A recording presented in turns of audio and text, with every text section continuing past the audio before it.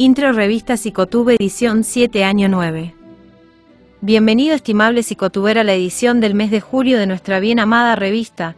En el mes de julio especial, esta revista es producida y editada por Horacio González Rodríguez, psicólogo, coach PNL, emprendedor y escritor. En la presente edición nos dividiremos en cuatro partes. En nuestro primer artículo te traemos un texto titulado Una cosa es ser conformista y otra agradecido, que nos trae a reflexión, y también nos hace referencia acerca de cuándo y cómo es que somos agradecidos, o de cuándo y cómo es que pecamos de conformistas, realizando el profundo análisis diferencial entre ambos postulados.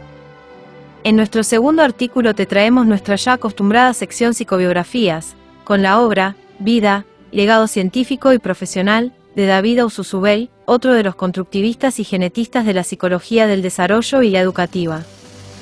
En nuestro tercer artículo te traemos un poema con motivo del Día del Abuelo y que se titula Las manos del abuelo de Gervasio Melgar. En nuestro cuarto y artículo de cierre te traemos un texto titulado El mundo tras una crónica deportiva, que conmemora el Día del Periodista Deportivo, y comentaremos para reflexionar sobre dichos aconteceres del mismo y así como sus distintos bemoles, culminando con nuestro acostumbrado cierre de reflexión y comentarios finales, una vez más gracias Hispanoamérica por todo el apoyo recibido por y para ustedes, y una vez más gratitud hacia todos por igual, y que Dios los bendiga.